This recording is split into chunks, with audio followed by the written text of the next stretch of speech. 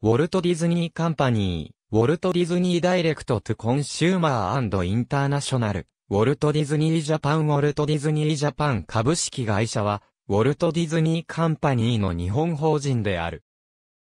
日本において、ウォルト・ディズニー・ピクチャーズ、ウォルト・ディズニー・アニメーション・スタジオ、ピクサー・アニメーション・スタジオ、ディズニー・ネイチャー、タッチストーン・ピクチャーズ、ハリウッド・ピクチャーズ、ミラマックス・フィルムズ、20世紀、スタジオ、サーチライト・ピクチャーズ、マーベル・スタジオ、ルーカスフィルムとその参加の作品の配給と、ビデオソフトの発売、米国法人が保有する、キャラクターなどを用いた、マーチャンダイジング、プロモーション活動などを事業展開している。株式を、米国法人の Disney Enterprises, Inc.が100%保有している完全子会社である。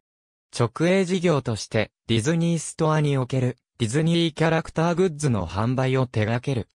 この事業は過去売上不振のため、東京ディズニーリゾートを運営するオリエンタルランドへ譲渡したものの売上が回復せず、再度 WDJ が手掛けることとなった経緯がある。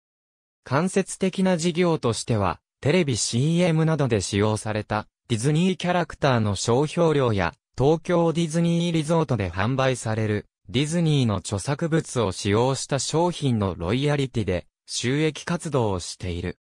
東京ディズニーリゾートはオリエンタルランドによるライセンス運営となっており、ディズニーグループは、米国法人も含め、資本上の関係はない。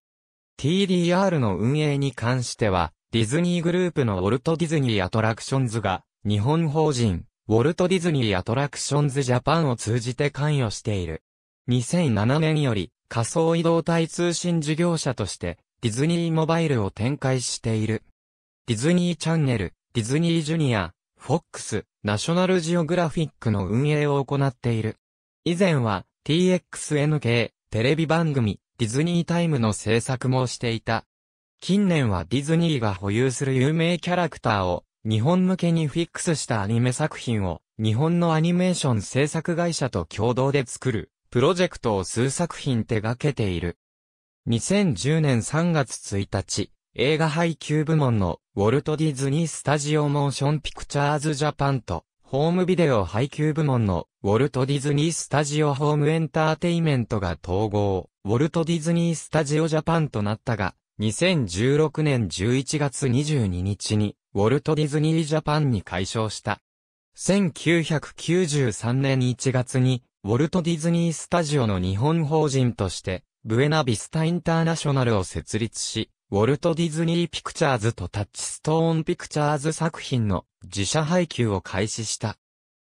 なお、かつては日本法人としてブエナビスタ映画日本支社、日本 RKO 映画株式会社、ウォルト・ディズニー映画株式会社、ブエナビスタ映画株式会社があったが、1977年4月29日に公開された。星の国から来た仲間を最後に1977年秋から日本での直接配給機構であるブエナビスタ映画日本支社の解散、閉鎖をめぐって労使対立が続いて配給業務がストップし、以後ブビジュの設立までは東方、東映、ワーナーブラザースが配給していた。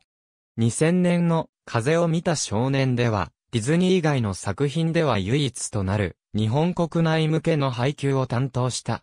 設立当初の資本関係は公表されていないが、2000年4月に、ブビジュは、ウォルト・ディズニー・ジャパンへ統合。2007年7月に、WDSMPJ に解消し、2010年3月に、WDSJ に統合したが、2016年11月に、WDJ に解消した。ビデオソフトについても、ブエナビスタホームエンターテイメント、ブエナビスタジャパンを設立したが、2000年4月に、ウォルト・ディズニー・ジャパンへ統合されている。2007年7月に、ウォルト・ディズニー・スタジオ・ホームエンターテイメントに、解消。2010年3月に、ウォルト・ディズニー・スタジオ・ジャパンに統合したが、2016年11月に、ウォルト・ディズニー・ジャパンに解消した。ブエナビスタ配給作品に加え、1997年よりビデオ発売で提携関係にあるスタジオジブリ作品の VHS DVD、ブルーレイディスクソフトの発売を行っている。かつては、スタジオピエロ制作のアニメ、たこ焼きマントマンも発売を行っていた。ブエナビスタ配給のブロックバスター作品や、スタジオジブリ作品が、セルビデオ化される、際のコマーシャルも、ウォルト・ディズニー・ジャパンが実施している。1984年にポニーと提携、現在は、ポニーキャニオン営業本部アソシエイツ営業部、ディズニーグループが営業を担当している。一時期、ポニー以外からも VHS レーザーディスクを発売していたことがあり、1987年にバンダイがウォルト・ディズニー・カンパニーと映像ソフト販売契約を結んで、1988年にネットワークフロンティア事業部をバンダイが吸収し、バンダイメディア事業部が発足。そこからも VHS レーザーディスクが発売されていた時期もあった。しかし、翌1989年に契約は終了となった。VHD 版は日本ビクターが発売元であり、レーザーディスク版や2000年代初頭頃までに発売された DVD 版はパイオニア LDC が発売元であった。ただし、ディズニー映画作品やタッチストーン作品の DVD は1999年からブエナビスタによる発売、販売が行われている。1995年前後は、ソニーと提携して 8mm ビデオテープでのディズニー映画のビデオソフトも発売していた。